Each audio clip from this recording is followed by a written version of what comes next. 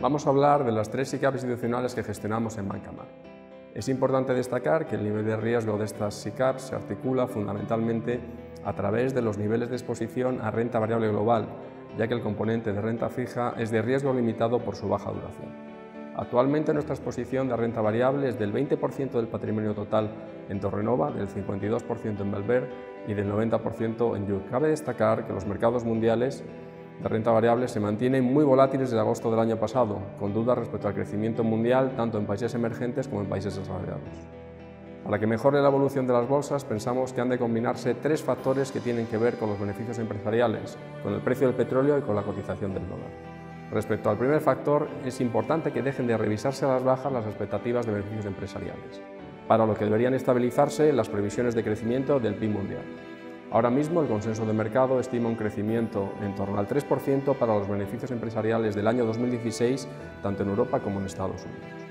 Como segundo factor, es relevante que se estabilice el precio del petróleo en el entorno de los 40-45 dólares el barril de crudo Brent de manera que se limite el deterioro de los ingresos fiscales de los países productores de petróleo y que de esta manera sus fondos soberanos puedan minorar sus ventas masivas de activos financieros, especialmente de renta variable.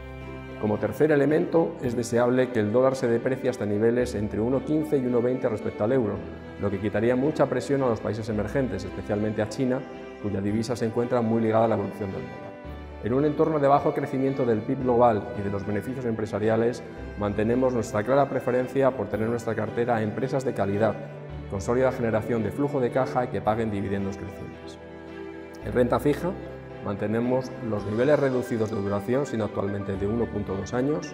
Reiteramos nuestra visión prudente en renta fija dados los bajos niveles de tipos de interés y en este sentido pensamos que hay cierta asimetría en el riesgo de la deuda pública, que se concreta en que a los precios actuales hay poco que ganar y mucho que perder.